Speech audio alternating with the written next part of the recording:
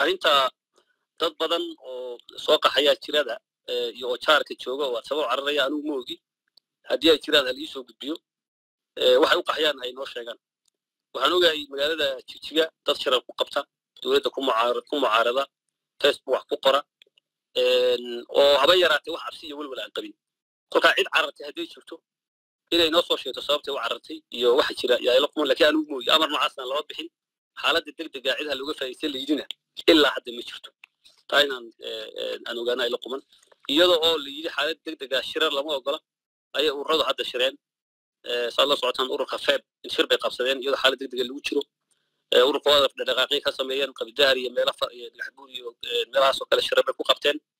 Annagoo eegayna duruufaha guud iyaynaan abdalaagarayn sharciga siduu yahay oo aynu bal arrintan u dhaafno lakiin iyagaan la hadalo nidhaahno xaaladda guuda dalka inagoo eegayna waxoogaa aynu u yarkaadino un baanu go'aansanay. Marka arrintaasi runtii arrin jirta maaha waana waxyaalaha u baahan si mas'uuliyad leh inaan waxyaalaha propagandada iyo waxyaalaha jira xaqaa'iqa u kala saarno inay inoo taalo kulligeenba si aan xal u gaadhno. Ku xumayn hadday noqoto qof wax kasta uu abuuran karaa laakiin xaqiiqada horta waxoogaa baadno mas'uuliyad baa inaga saaran waxaasaa la yidhi waa yar dhibaato arrinta ku saabsan etoobiya waxay maraysaa meel halisa waa la islaynayaa ku tashanno. Waxay ila tahay marka ugu horreysa tashigu ummadaho dhan way tashadaan. Xamaara way tashataa tigre way tashadaan oromo way tashadaan. Platform lagu tashaday iyo qaab loo tashaday iyo qaab ummaduhu ay u shaqeeyaan baa jira.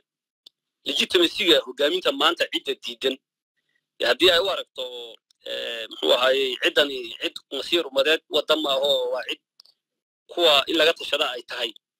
Dee wada tashi mehe aan kala tashanaa meesha taalla waxaan ogahay shirarkii baryahan socday iyo kuwa hadda la qabanayo.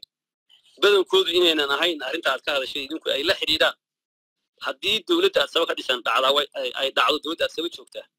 Kuwa iminka jooga jijiga jooga bbda iyaguna way dhaceen dowladdaasi la dhaceen. Aynu ka tashanno shirar. Inay socdaan baan ogahay aan wada tashanno shirara maaha. Waa shirar kuwaas way dhaceen aan ka tashanna. Uma aragno inaan dhacnay.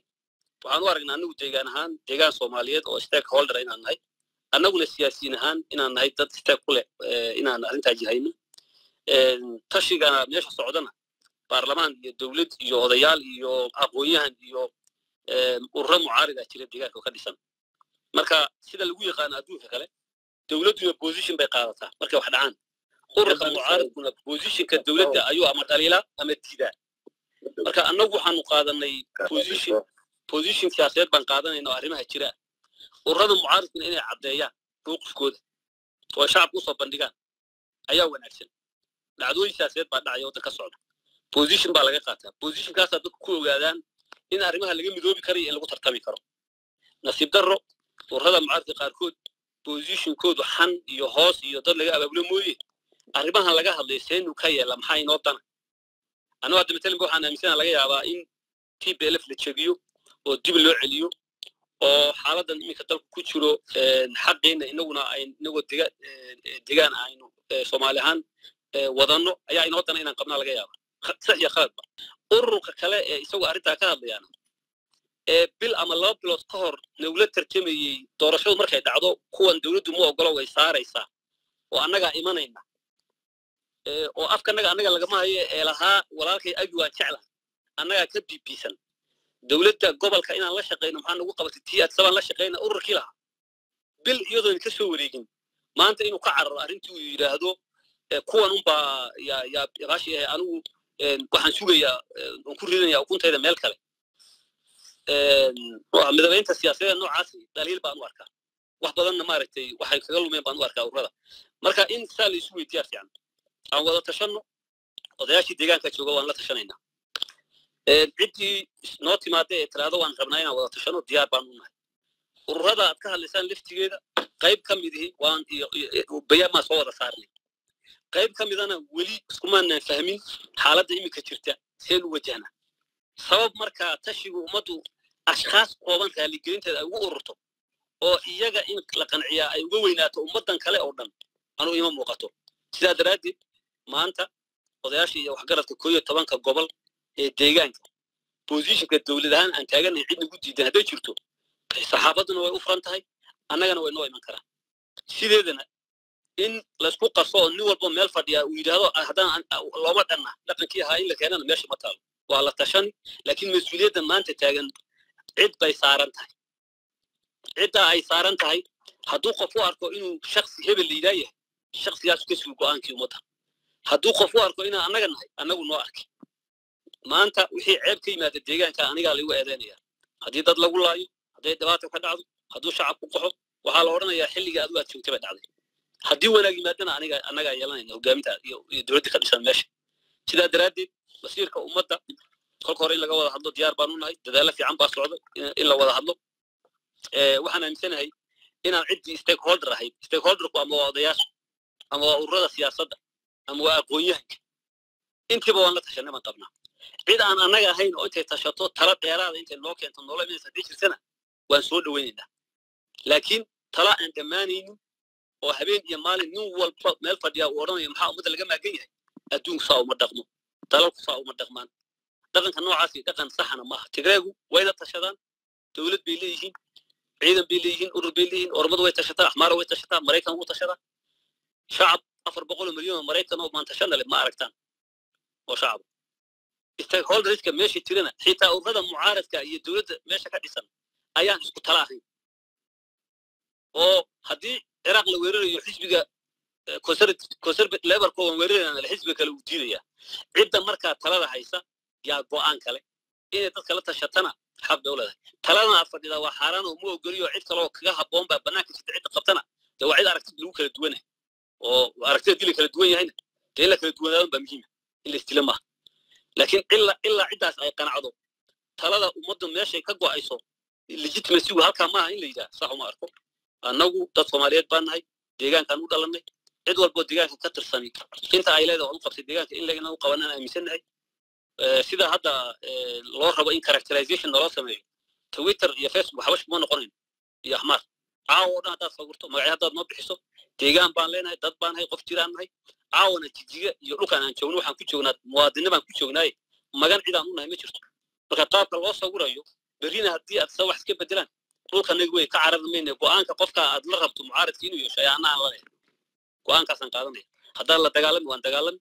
Haddii nabad lagaga tegi nabad baan kaga tegi. Haddii midnimo soomaaliyeed oo isku duuban la raadin waan raadin. Laakiin in loo arko deegaanka dusha kaga fadhido oo joogto oo haddii ajnabi meesha ka baxo iyaduna cararaysa fikir khaldan weeyaan waana fikirka dadka isku dilay wey ee saxda ahayn. Aragtida in laga fogaadaa ila quman. Arrintaa ku saabsan saasaad odhan jirtay qofku rool buu leeyahay. Maalin maalinkan shaksiga muxuu ahaay iska shaqaysta aha xorta dadkaan la kaftami jiray. Iyo hadallaan ku odhan jiray maanta kuma odhan karo. Hadalladaan odhan jiray maanta kuma odhan karo asalkabana political activism oo ah xilli aad tabar daran tahay xilli aadan haynin afkaar siyaasadeed aad gudbinayso iyo active politics.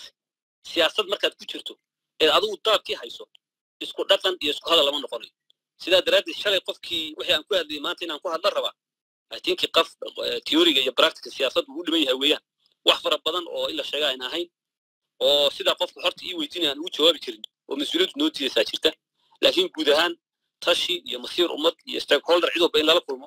Mabdiya waan aaminsannahay cidda lala kulmoyina aan qeexno oo aan ka wada hadallo aan odhan lahaa waad mahadsan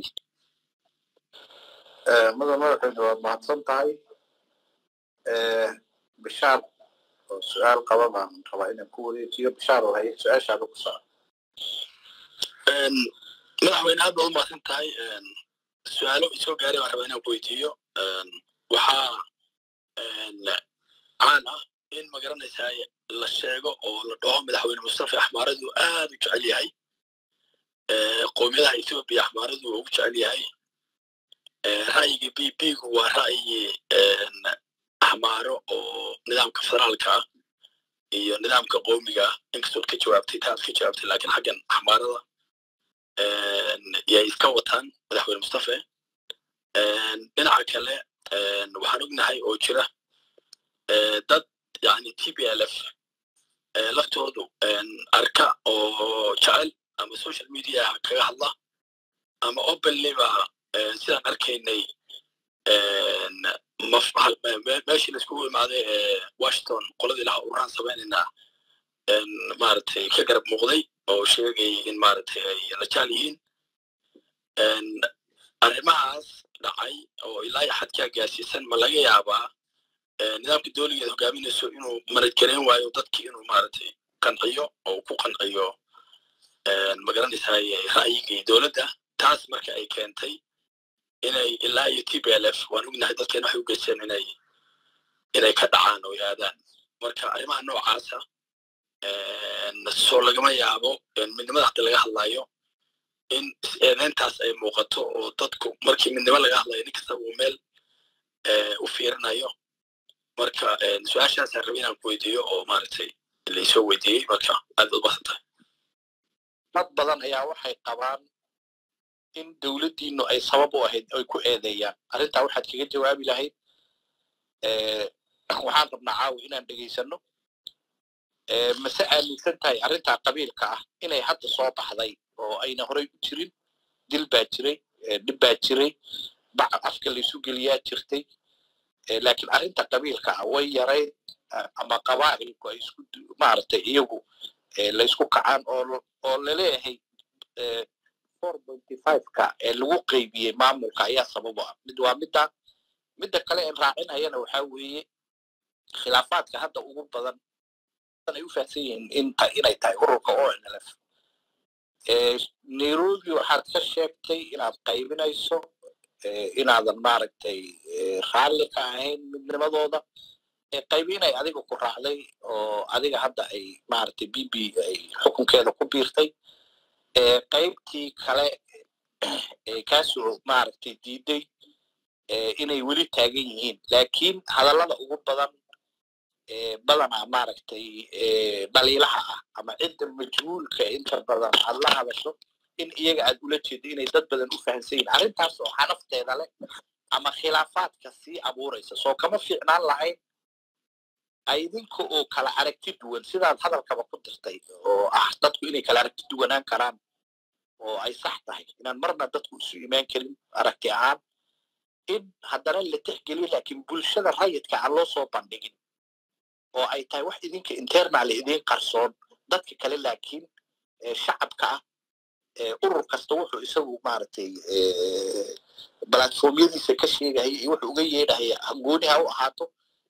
Laakiin khilaafkan la istilmaamahayo ama laysku tilmaamay oo ku badan dhanka dowladda. Laakiin ururka oo naf in badan aan laga arkin laakiin xaggiina ku badan. Cid gooni oo maaragtay dadka iyadu rabta inay wax ku waxayso waxaa ma aaminsanin oo idinku badan. Arrintaa iyadana maxaad kaga jawaabi lahayd? Waa mahadsan tahay waaya bismillahi raxmaan raxiim arrinta ku saabsan t b l f iyo xmaari iyo qowmiyadaha etoobiya la kala jecel yahay waa arrin soo noqnoqotay una u baahan in la kala caddeeyo. Anu waxaan u arkaa maanta dadka ka hadlaya axmaaro inay iska indhaqarsanayaan oo aynan runta wajahayn waayo shalay markii xilka aan imanaynin haddaad dib u eegto wixii eedayntu ahaa oromaa keentay oo oroma oromadii ay musliminna baa keentay ahayd. Saddex sano ka hor eedayntu waxay ahayd dad ay oroma keentay buu yii dadkani ba ma ahayn axmaaro axmaaro waxaa laga hadlay markii tigreega iyo isdiideen systemkii hadda jiray. Tigreegu maadaama axmaaro cadow u arko inta tigreega taageersanina inay cadowga tigreega cadow ka dhigatay baan u arkaan laakiin axmaaro maanta soomaali dhibaato ku haysa oo ii muuqata oo aan arkaa ma jirto. Systemka maanta dalka ka taliyan axmaar ma maamusho ra'iisul wasaaruhu axmaar maaha qowmiyaddiisu haddii qowmiyad la eegayo siyaasadda uu fulinayo ee la leeyahay wuxuu soo wadaa siyaasad federalismka baabi'inaysana kuma qanacsanin inay jirto waayo xogaal baan gudahan ku jira. Maadaama tigreeg lahaa anigu ku qano kuma qasbin. Siyaasadda hadda jirta axmaara waddana ma aaminsan ra'iisul wasaaruhu axmaarna ma aaminsan cadowga tigreegu inuu cadow ii noqdo oo wax iyaga dhibaya anugu aan la boodana ma rabo. Haddiise ay tahay nidaamyadii etoobiya soo maray oo sida loo dhigo t belafna ay mid ka ahayd kii dergiga oo axmaara ay wadatay iyo xaylisalaasina uu ku jiro. Maxaa aragti laga qabaa? Boqolaal jeer baan sheegnay. Nidaamkii anugu intii etoobiya dhisantay saddex nidaam bay dadkeenu soo arkeen. Minilik inama soo gaadhin saw. Xaylisalaasa ugu horreeyey. Nidaamkii xaylisalaasi boqortooyo dadka salaadiinta ah intay carruurta iyo meelaha ku laalushto iyo waxaan macnalayn shacabkooda ku dul xukuntay ahayd boqolkiiba boqol nidaam innaga inoo dana amahayn nidaamkii dergiga ee isaguna axmaaraa hogaaminaysa la leeyahay nidaam isaguna shacabkeenna isa soo gaareen inkastoo ahayn saddexdii sane ee dhowrkii sane ee soomaaliya ay dagaalka ay ka dhexiyeen mooye oo ay ku mashquulsanaayeen noordiga iyagu inta badan ay ku maqnaayeen mooye. Nidaam isaguna inoo dan aha meel aanu ku niri ma jirin. Nidaam xun oo dhaqaalaha nagala dagaalamay oo dadka intii wax baratay inay soomaaliya u cararto kolkay soo noqotay dhulkeeda inay timaado dabcadana odhan jiray shiftaa soo gashay odhan jiray inuu ahaa. Dee shalay iyo maanta iyo waan qiraynaa wax jira weeyaan. Marka anigu waxaan ka hadlaynaa waxa weeye war maanta dhergi wax la yidhaha ma jiro oo ma noola.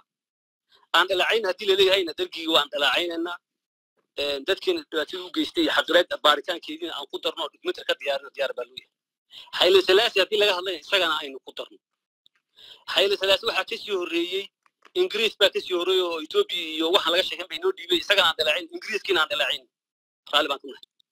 Ingiriiska waxaa noo lahaa bortugiiskii aan waddankan qabsan lahayn muslimkaan faafina naga hor istaagay bortugiis aan dhalaacayno bortugiiskiina aan dhalaacayno haddii la rabo taariikhiyan wixii ina soo maray ee gumaysi inoo geystay inaan dhalaacayno mowqifkaan taaganna waa kaa maanta dadka xukunka haya ee jooga inkastoon anigu arko ra'iisul wasaaruhu inuunu axmaar ahayn inkastoon ogahay siyaasadda socota hadda sida tb laftu u dhigayso waxaa soo noqonaya nidaam federalismka baabi'inaya iyo boqortooye axmaar baa soo noqonayso inkastoon anigu ku qanacsanayn inay dhab tahay.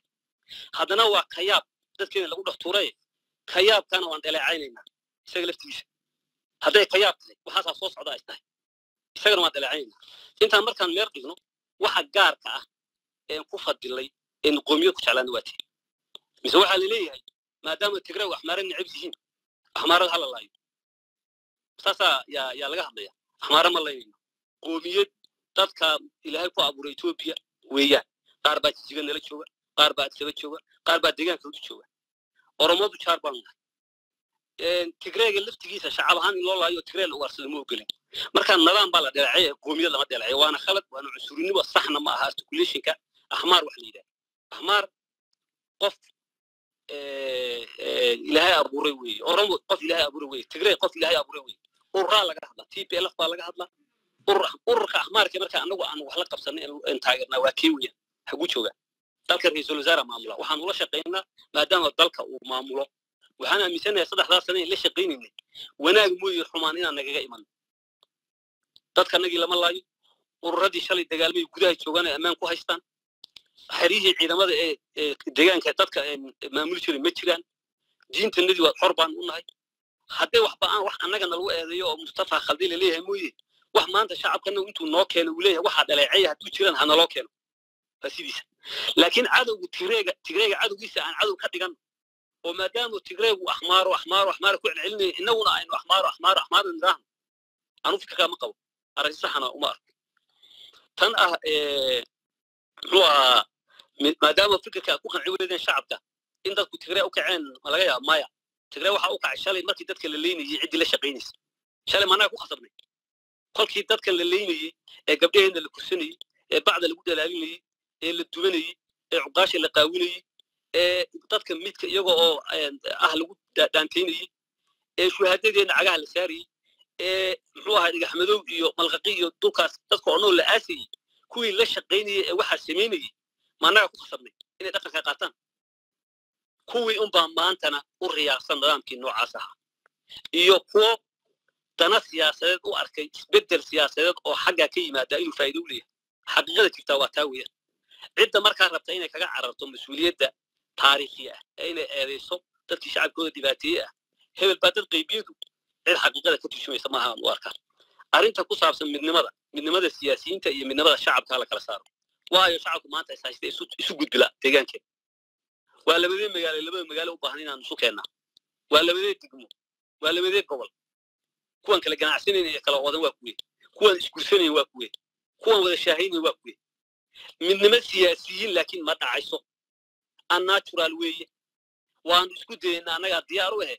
Keena oo annaga midnimo dan noota kursi ku fadhino maanta waxna taageera abaal ku qabe keena oo nala mideeya iska daaya xukuumadda iyo iyo iyo ururkii mucaaridka ahayd ka hadlayseen isu keena oo intaad isaga assignment u qaadataan. Haddii xaqiiqo laga hadlayo bal ururkii isku magaca iyo isku calanka aaminsanaa waxa kala geeya dhex galo oo weydiiya oo la hadla. Laakiin uma arko dhaliilahaas inay yihiin kuwo dhab in wax hal lagu raadiyo loo rabee. Kuwa ceebayna daleecin looga jeedaan oo arkaa kuwa istaagayana maaha. Waayo qofku meeshii usku uga go'anta wuu garanaya. Arrinta ku saabsan qabiil ma jiri jirin wuu jiray qabiil qabiil wuu jiray. Lama sheeg sheegi jirin haddii la leeyahay. Dadkoo dhan waa tacadigi sheeg jiray lama sheegi jirin. Askartu waxay biisa lama sheegi jirin. Waxay lunsato madaxdu lama sheegi jirin. Xorriyatu qowlku waxay soo kordhisay dadku dhibaatooyinka jira inay ka hadlaan qaabka ay soomaalidu falsafada siyaasadda uga turjintaan uga falcelisaan waa qaab qabaa'il. Waxa markaa xorriyadda iyo miidiyaga saxaafaddu ay soo celiyeen ma jiri jirin lama odhan karo wuu jiray. Qabyaalad baa jirtay qaabkii loo maamulayay baa khaldanaa qaabkii wax loo kala qaadinaya baa khaldanaa dad baa cadaadaya ooyi ilaa iyo maantana ku hadla. Hebel iyo hebel baa dowladda maamula lalahaa ree hebel muxuu ahayey way dulman yihiin baa lalahaa qaar baa dibadaha kaga hadlayey oo lahaa dhib baa nalagu haystaa qaar baa dhulkanagii baa la bixiye lahaa oo hebel baa bixiye lahaa. Qaar baa ururo u samaystay inay ka filceliyaan qabyaaladii meesha ka jirtay oo magacyo la baxay. Oo dulmudiidya la baxay oo dhibaatadii jirtay ee markaa ka cabinayeen qaab qabiil uga jawaabay.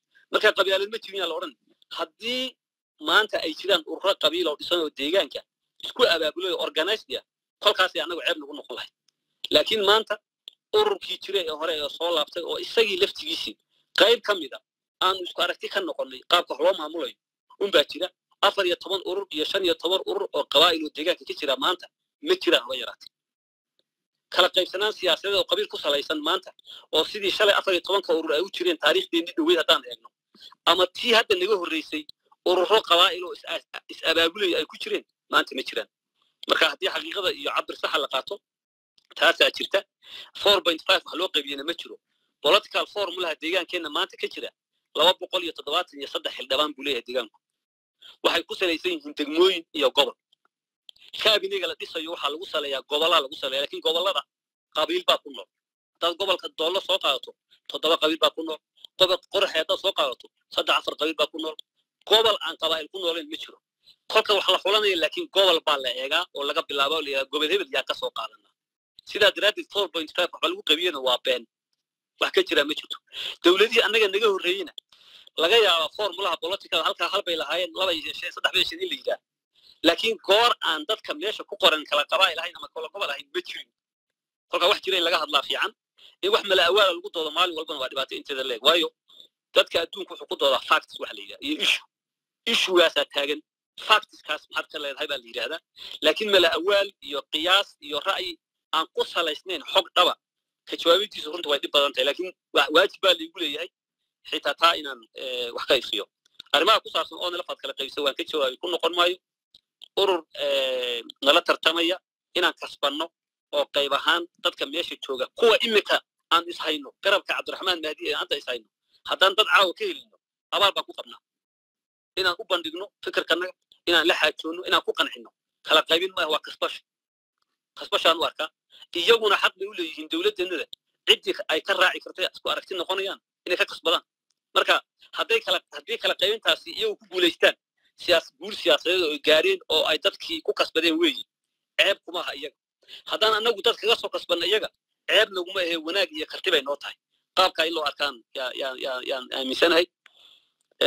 Khilaafaadka bulshada yaan loo soo bandhigin waa arrin fiican laakiin dacada laga ahaado madaxda oona lafta garabka aanan weli ku heshiinin qaabka wax loo wadayo iyo inta ka agdhow afar iyo labaatan saa waxay ku hadlayaan waxyaalo dhaliil iyo aflagaadooyin iyo weliba hanjabaada ku jiraan. Kuwii lahaaba xagee la gelayaa maalmaha toddobaadkan annaga maanan ahayn. Kuwa maalin walba yidhahda hebel waa axmaar hala dilo annaga maaha kuwa jinsiyadda iyo diinta shaksiga ka leexda ee shaambadeeya ee yidhahda hebel maba aha soomaali yidhahda annaga maaha cidda markaa wanaag umeed ka talinaysaa hadday maslaxo umadeed oo kadhaba ay ka hadlayso hadallada xanafta leh ee ay leedahay hebel baa ku hadlay. Ha ka dhabahaato ha tidhaahdo dadkan waa dadkeenni. Hadday khaldan yihiinna si khaldan ha loogu sheego laakiin hanjabaadii waan ku dilaynaa xageed gelaynaa iyo axmaar baata iyo waxani dow looguma laha halliya iyadoo le aan aragno. Laakiin kuwa sidaa lama hadlayno. Laakiin haddaad tidhahdo waxba igama qaadi kartide waad hanjabaysaa bal waxaad qaadan arkayna haddaad tidhahdo ka daa. Ha ku odhanin hadday tahay. Lexejecelo laga qabo kuwaasaan u aragnaa dhexdhexaadna lagama aha. Downa ma aha. Madaxda oona lafta meelaan ku aflagaadinay ma jirto.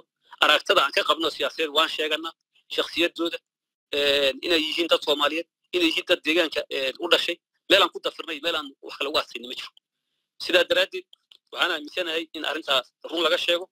Cidda annaga nale ha odhanin waan kala adkaanaynaa iyagana ha ku tiraahdo xaggeed gelaysa ha odhanin dhulka wuu kula leeyahay deegaanka wuu kula leeyahay kama xoog badnid haddii nidaam dawli uu jirana nidaam dawli la isku xukumi oo lijisa lagu kala qaada haddii nidaam dawli burburana sidii la soomaali u noolaanaysaa loo wada noolaan cid cid inta cagaha dhulka ugu garaacdo meeshii aan ku dhashay iyo deegaanka ku dhashay iga yeelan kartaa ma jirto anu waxmaarna mihi tigreena mihi oromana mihi uraagna mihi nin soomaaliya oo deegaanka u dhashay oo dalka ku nool baanay cid kale oo soomaaliyadoo maanta meesha intay cagaha igu garaacdo iga eryan kartoon magan u noqonayana ma jirto.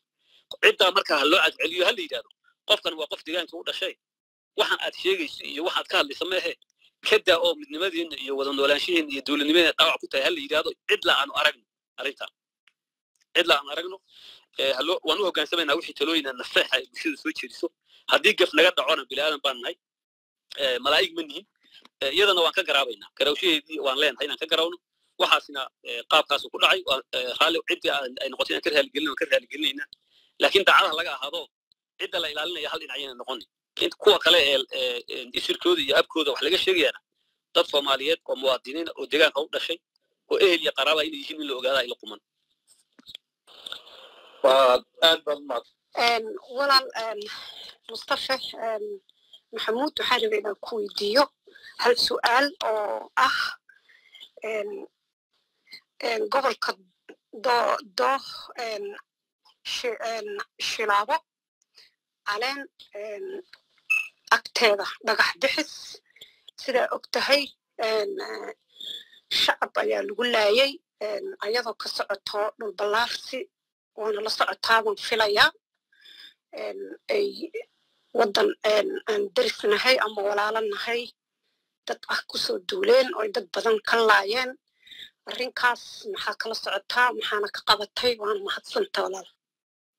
Iba aad baad u mahadsan tahay maxamed xasan dable ku soco faacil saddexdaa su'aalood.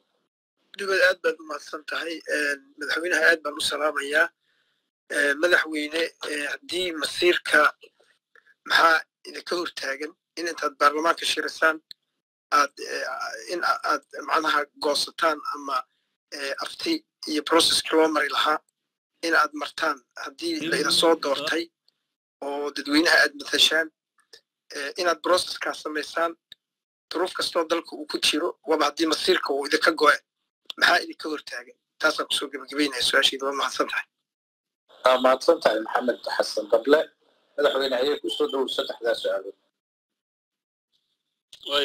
bismillahi raxmaan raxiim su'aasha federal political miisaanka aan ku leenahay iyo nomination maxaan noo soo kordhay iyo dhaqaalaha ku dheeraan maayo maadaama in badan aan sharaxnay waxaan aaminsannahay in xagga matalaadda oo kale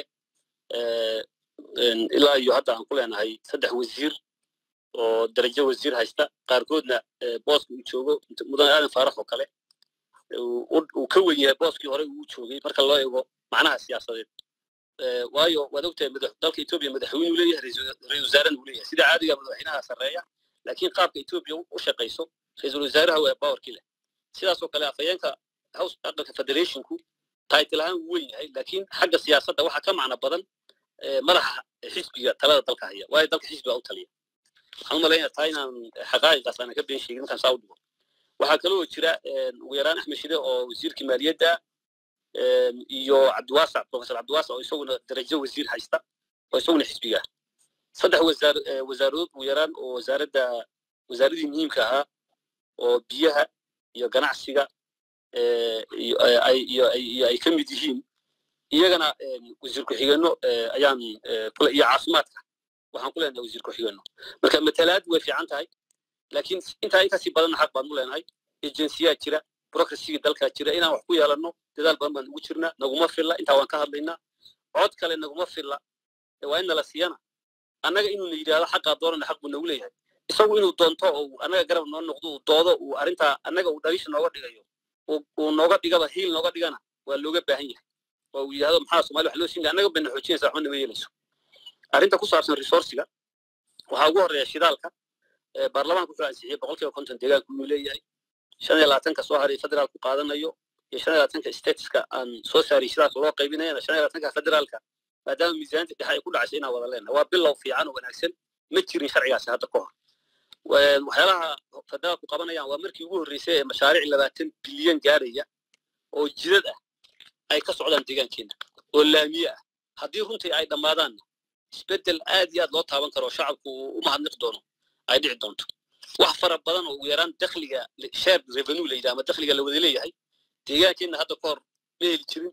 Sanadihii u dambeeyey saddex bilyan lacag ku dhawaada laba ilaa saddex bilyan lacag ku dhawaad u dhaxaysa ayaa laga helaa hadda oo federaalka laga soo celiyaa. Marka xaq badan oo la soo la soo celiyana wuu jiraa xuquuq siyaasadeed oo xisbi ahaan sagaal guddi fulin baan leenahay. Muxuu ahaayey oo tira ahaan maanta intii shalay tigray ay ku lahaayeen xisbigii talada in laga baan marka xuquuqo la soo celiyana way jiraan oo in loo sii halgamo u baahan kuwo kale oo badan oo kuwa ka badan dalka ku leenahay oonan helina way jiraan. Arrinta ku saabsan waddada awbarre iyo laamida xogteeda oo rasmiya hadda ma hayo ma huba in wadda laamiyo halkaa loo qorsheeyey ay hadda ay jirto. Awbarrena waa meel u baahan laami iyo adeeg kaleba in loo sameeyo. Waan u halgamaynaa inay hesho insha allah haddii la yidhaha meelo badan oo deegaanka oo awbarre intay u jirto jijiga uga fogna way ka socdaan meelaha qaarkood ayna gaarin waxba la soo aan la helin in loo qaatana maaha.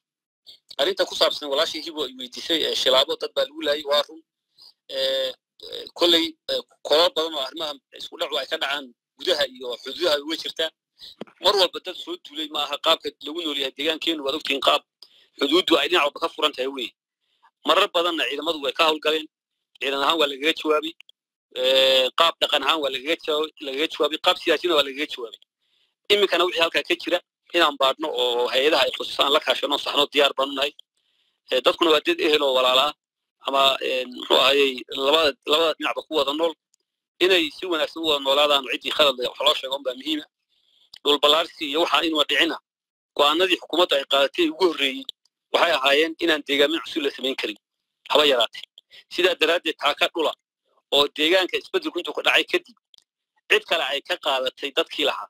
Ma jirto haba yaraatee. Intii la karaya waa laga dadaalay go'aano dhaxalkala oo runtii ummadda badbaadina waa la qaatay. Dadkii lagu laayay allah u naxariisto baaritaankeedaan gelaynaa. Xalkeedana waan si siyaasiyan si dhaqan baan u samaynayna arrinta masiirka jijiga hadduu yaallo maad ku dhawaaqdaan maanta kolka ugu horreysa masiirka jijigu yaalla macnaheedu maaha sa waxbay nagama yaallaan dalka etoobiya ka tirsannahay siyaasiyan ilaa hadda waa xaqiiqo aynu ognahay inaan etoobiya ka tirsannahay oo aynu qayb ka nahay. Annaga keliya fikirka ma qabnee fikirka ururadii shalay u ololeynaya go'itaanka yaa qaba oo qalin baanu xaqanaga kaga doonanaa etoobiyada aragti aan ku kala duwannahay oo xaggaas nooma muuqato. Masiirka ummadda xukuumadda deegaanka joogta ee markii horeba aaminsanayd waxaa inoo dana innaga inaynu xaqeenna etoobiya gudihiisa boqolkiiba boqol ku hananno midnimada soomaaliyeed adkayno waaqaca dalka iyo geeska iyo adduunka ka jira innagoo eegayna mar walba wixii danteenna aan ku tallaabsanno annagoo qabna daa'e su'aashaas waxay ku habbooneed in la weydiiyo. Ururkii soddonkan sano waan go'aynaa lahaa in la weydiiyo. Maxaad ugu dhawaaqi laadihiin caawa inaad ka godeen etoobiya in la weydiiyo inay sax tahay baan qabaa ururkii su'aashii la weydiin lahaa in lagu soo leexiyo inaan daw ahayn marka in madashan lagu casuumo ururka oo la yidhaahdo bal ku dhawaaqa inaad waddankii ka godeen in kale maadaama shalay aad aaminsanideen inaad godaan iyo in kale in la weydiiyo inay habboon tahay baan qabaa. Intaasaan kaga jawaabi lahaa. Waa mahadsan tahay waxaan u gudbahayaa tilmaan t tilmaan haye asalaamu calaykum waraxmatullahi wabarakaatu waxaan ka salaamayaa dubad iyo bishaar iyo madaxweynaha dowladdeegaanka soomaalida mustafa cumar ayaan salaamayaa laba su'aalood quick aan rabaa inaan weydiiyo waqti dheer inaan ka qaato ma rabo. Anigu waxaan ahay tafatiraha tilmaan t v ayaan ahay. Marka su'aasha laba su'aalood aan rabaa inaan iskor saaro waxaa weeyaan waraysi ayaan waxaanu ka qaadnay siraajo aadan. Wuxuuna noo sheegay in uu mustafa cumar madaxweynaha uu u diray odayaal ay u direen. Looga tashanayo masiirka dalka iyo haddii etoobiya dagaalkan uu xaalad kala galo oo ama ay civil war ka dhaco ama dalkuwa uu kala dhaqaaqo inaan go'aan qaadano lagama gudbaana oo maaragtay ururada mucaaradka dowladda dhammaan wax aan maaragtay lama dhaafaan red line aan laga gudbi karin inaan qaadano ayaan u dirnay iyo odayaal. Odayaashii way naga aqbaleen arrintii mustafa madaxweynahay u tageen. Madaxweynaha way la kulmeen. Madaxweynaha ayaa diiday arrintii. Marka madaxweyne waxaan rabnaa arrintaas inay jirto iyo in kaleeto inaad noo kala caddayso sababtaad u diidayna maxay tahay? Haddaanad diidina kolleyba dee adaa noo caddaynaya. Su'aasha labaad arma inaan ku weydiiyo waxa weeyaan.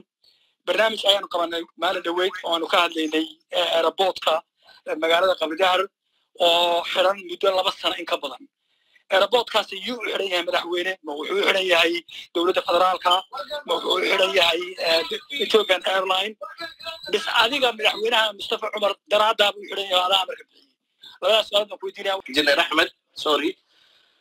Waxaan ku xijinhayaa cabdulahi cabdulahi cusmaan cabdulahi haye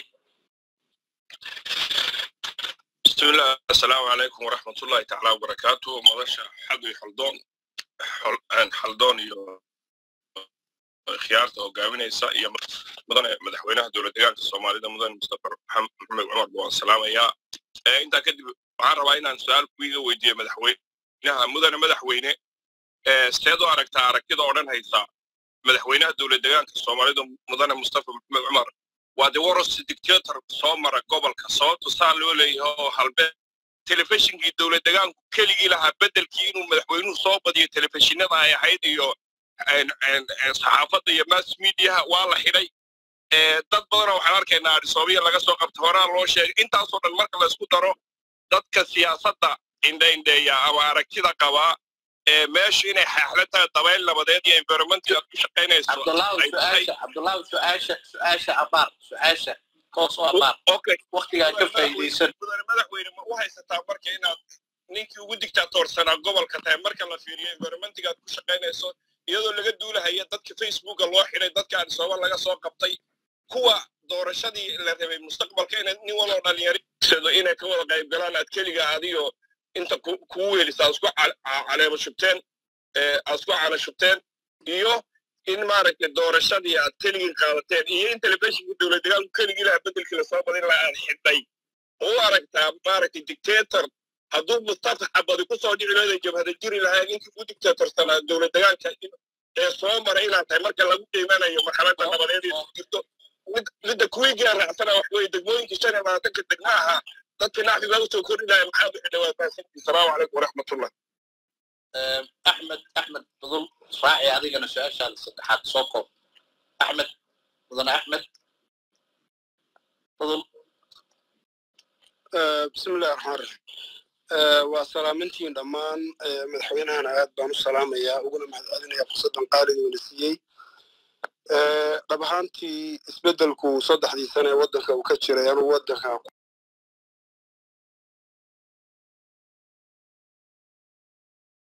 ku noolaa deganahayna horumarka iyo nabadgelyada waddanka ka jirta qof walba waddanka yimaada oo aan idhaha ka laabanaynin waa xaqiiqo jirta.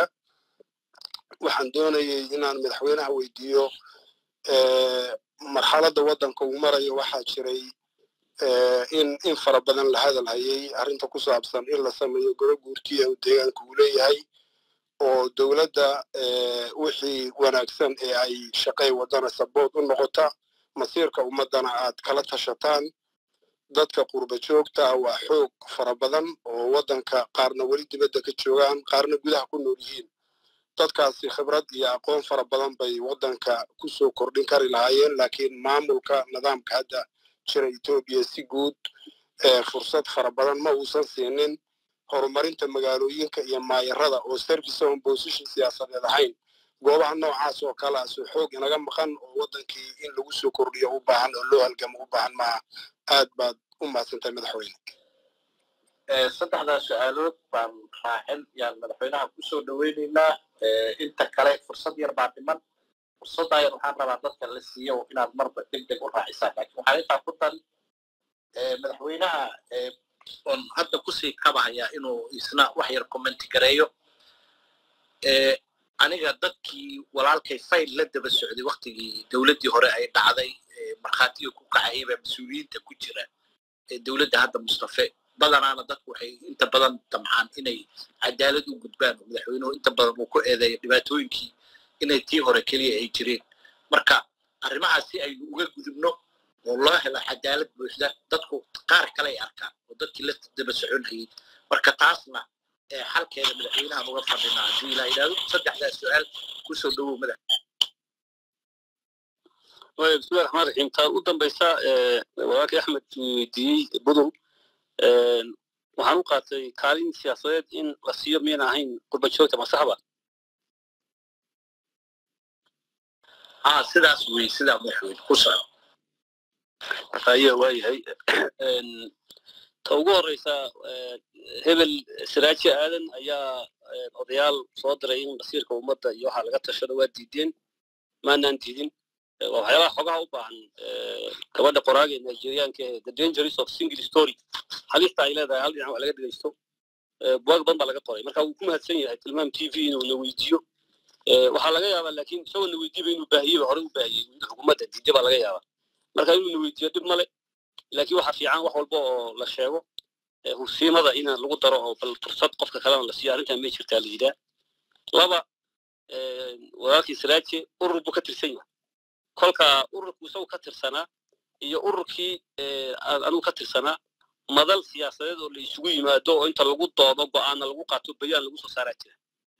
Haddaanan anagu shaksiyan sarag macnaheedu ma aha in fikirkii laga tashan lahaa laga tashan waxaan ogahay ururku ka tirsan yahay oo mas'uuliyiin leh iyo ururkanagu intay madal siyaasadeed oo xisbiyada ay isugu yimaadeen inay bayaan ka soo wada saareen qadiyadda guud baan ogahay haddii taasi ayna ku filayn oo foolka fool inaan isaga nimaadno ay ay tahayna aragti siyaasadeed baa lagu kala duwan yahay.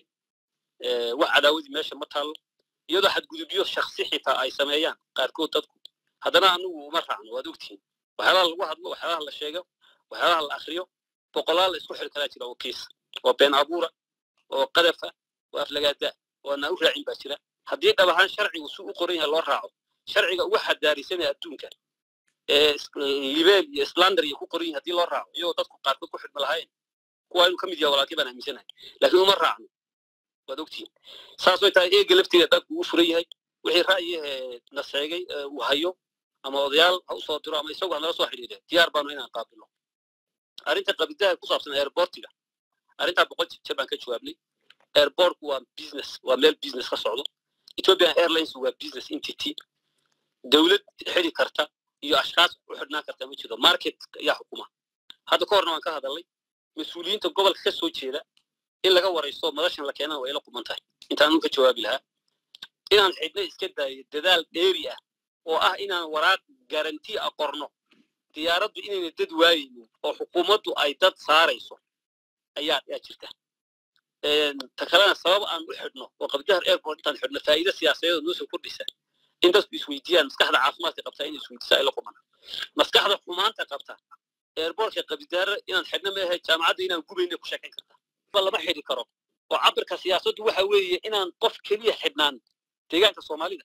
Hadduu dad caayo hadduu dad aflagaadeeyo hadduu dad boobo hadduu dembi siyaasadeed galo yaan la xidhin aragtiya haddii jirto dood bay u baahan tahay in loo furo shacabka qabaa laakiin sharciga siduu yahay uma ablagaranaan qabaa haddii sharciga aan raaci lahay isuu qoran yahay dad badan baa xidhnaan lahaa. Dad facebook wax ku xoq dembiga ku galay oo la xidhay way jiraan. Kolkii sharciga la mariyey ganaax ha noqoto sideen ha noqoto si naxariis baa loola dhaqmaa baan qabaa. Lama caburiyo lama dilo lama laayo maxaa looga hadla lama yidhaahdo. Waalidkood lama doonto ehelkood lama doonto. Improvement aan aad iyo aad caadi u ahayn oo ballaaran baa ka jira xuquuqu insaanka iyo xorriyadda iyo nidaamka cadaaladda. Yaan oran karnaa cid kasta oo soomaaliya deegaanka ku noola makhraati bay ka tahay yay ka tahay. Dad muxuu ahaa doorashada arrinteeda waa ka jawaabay iyo xaaladdu siday ahayd. Waxaan aaminsanahay xildhibaanada la soo doortay boqolkiiba siddeetan ama sagaashan inay maanta haddii dib lagu celiyo doorashada soo baxayaan. Deegaan walba markaad eegto sumcadda ay ku leeyihiin iyo aragtida laga qabo bulshada ay ka baxeen